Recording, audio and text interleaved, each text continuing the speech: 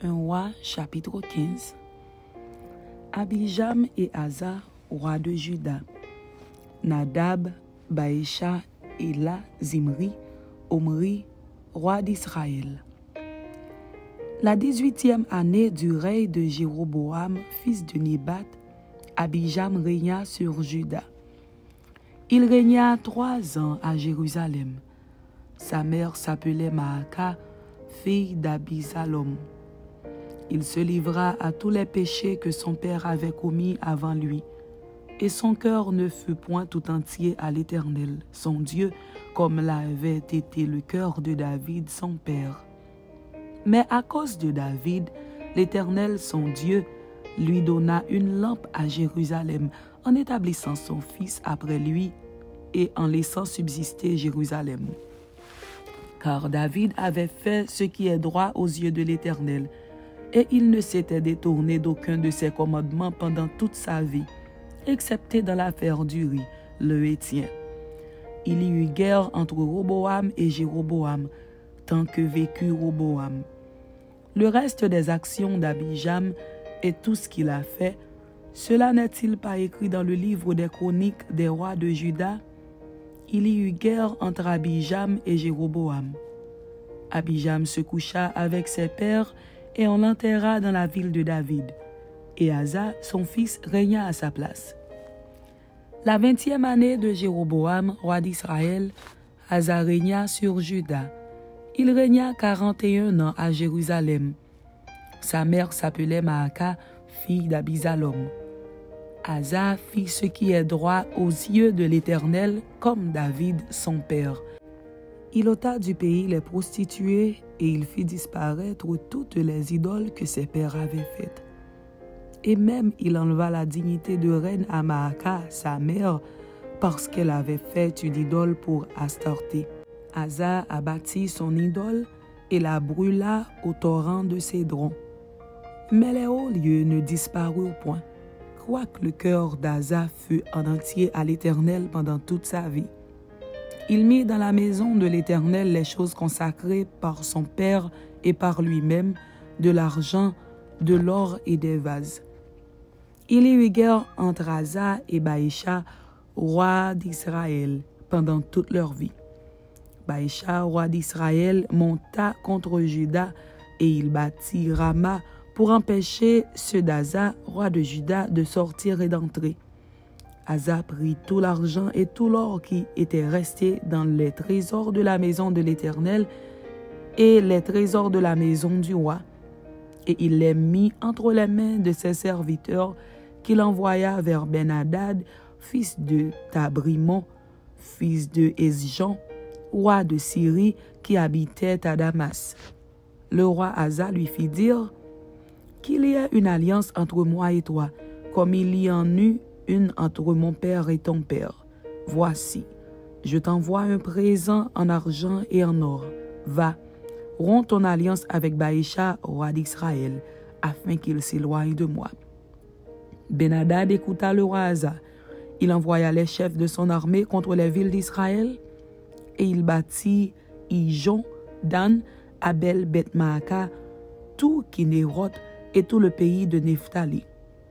Lorsque Baïcha l'apprit, il cessa de bâtir Rama et il resta à Tirtsa. Le roi Asa convoqua tout Juda sans exempter personne. Et ils emportèrent les pierres et les bois que Baïcha employait à la construction de Rama. Et le roi Asa s'en servit pour bâtir Geba de Benjamin et Mitzpah. Le reste de toutes les actions d'Asa, tous ses exploits et tout ce qu'il a fait, et les villes qu'il a bâties, cela n'est-il pas écrit dans le livre des chroniques des rois de Juda? Toutefois, à l'époque de sa vieillesse, il eut les pieds malades. Asa se coucha avec ses pères, et il fut enterré avec ses pères dans la ville de David, son père, et Josaphat, son fils, régna à sa place. Nadab, fils de Jéroboam, régna sur Israël la seconde année d'Asa, roi de Juda. Il régna deux ans sur Israël. Il fit ce qui est mal aux yeux de l'Éternel, et il marcha dans la voie de son père, se livrant au péché que son père avait fait commettre à Israël. Baïcha, fils d'Akija, de la maison d'Issachar, conspira contre lui, et Baïcha le tua à Gibéton, qui appartenait aux Philistins, pendant que Nadab et tout Israël assiégeaient Gibéton. Baïcha le fit périr la troisième année d'Aza, roi de Juda, et il régna à sa place. Lorsqu'il fut roi, il frappa toute la maison de Jéroboam. Il n'en laissa échapper personne et il détruisit tout ce qui respirait, selon la parole que l'Éternel avait dite par son serviteur Akija de Silo, à cause des péchés que Jéroboam avait commis et qu'il avait fait commettre à Israël, irritant ainsi l'Éternel, le Dieu d'Israël. Le reste des actions de Nadab et tout ce qu'il a fait, cela n'est-il pas écrit dans le livre des chroniques des rois d'Israël? Il y eut guerre entre Asa et Baïcha, roi d'Israël, pendant toute leur vie. La troisième année d'Asa, roi de Juda, Baïcha, fils d'Akija, régna sur tout Israël à Tirtsa. Il régna vingt-quatre ans. Il fit ce qui est mal aux yeux de l'Éternel, et il marcha dans la voie de Jéroboam, se livrant au péché que Jéroboam avait fait commettre à Israël.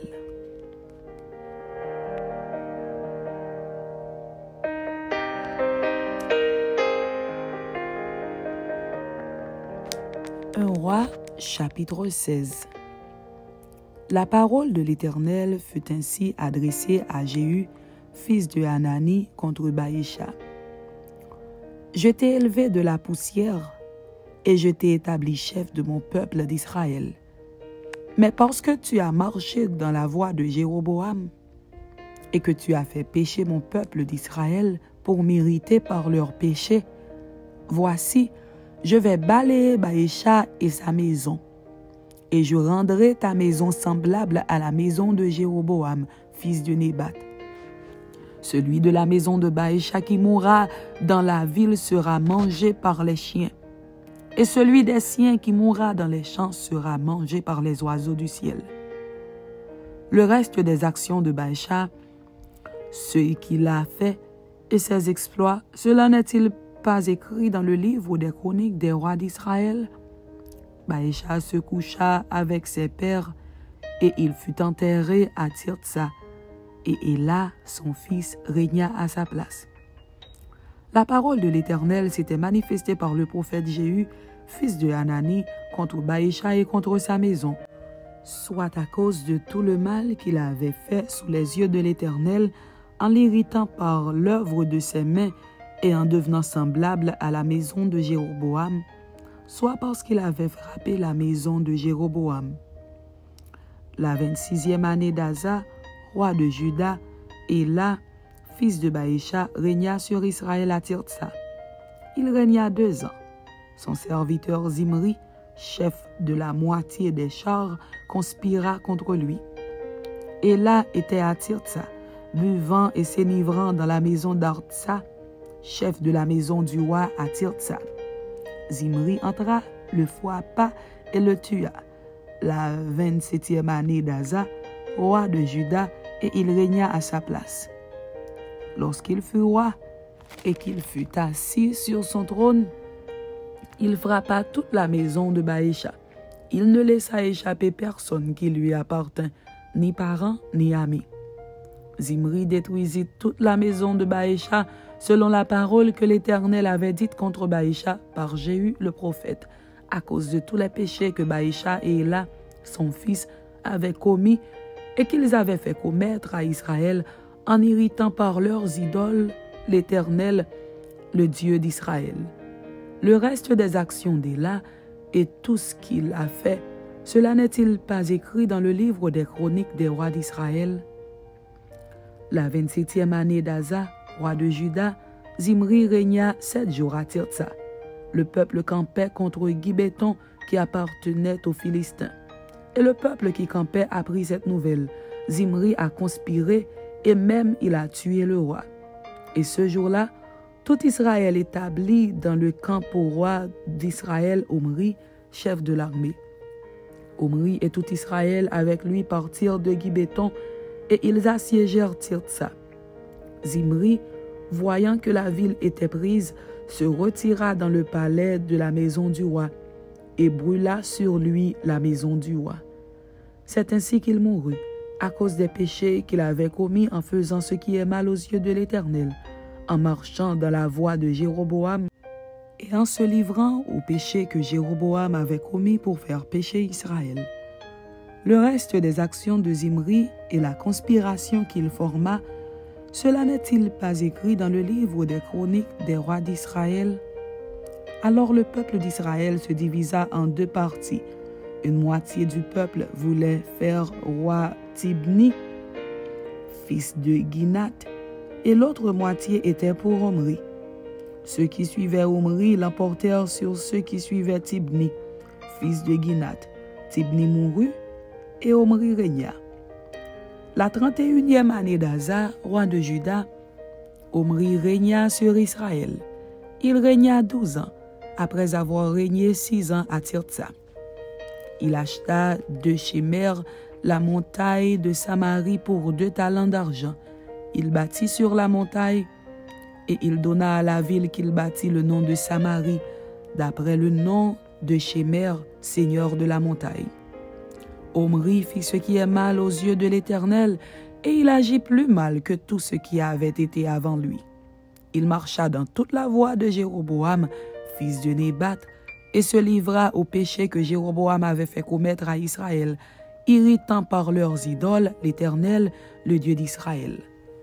Le reste des actions d'Omri ce qu'il a fait et ses exploits, cela n'est-il pas écrit dans le livre des chroniques des rois d'Israël?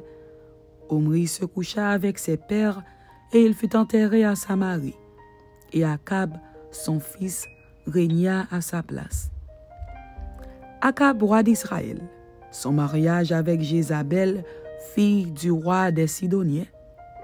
Akab, fils d'Omri, régna sur Israël la 38e année d'Aza, roi de Juda. Akab, fils d'Omri, régna 22 ans sur Israël à Samarie. Akab, fils d'Omri, fit ce qui est mal aux yeux de l'Éternel, plus que tout ce qui avait été avant lui. Et comme s'il c'eût été pour lui peu de choses de se livrer au péché de Jéroboam, fils de Nébat, il prit pour femme Jézabel, fille Baal, roi des Sidoniens, et il alla servir Baal et se prosterner devant lui. Il éleva un autel à Baal dans la maison de Baal qu'il bâtit à Samarie, et il fit une idole d'Astarté. Akab fit plus encore que tous les rois d'Israël qui avaient été avant lui pour irriter l'Éternel, le Dieu d'Israël. De son temps, Yel de Bethel bâtit Jéricho. Il en jeta les fondements au prix d'Abiram, son premier-né, et il en posa les portes au prix de Ségub, son plus jeune fils, selon la parole que l'Éternel avait dite par Josué, fils de Nun. Amen. C'était un roi chapitre 15 et un roi chapitre 16. Que Dieu vous bénisse. Amen.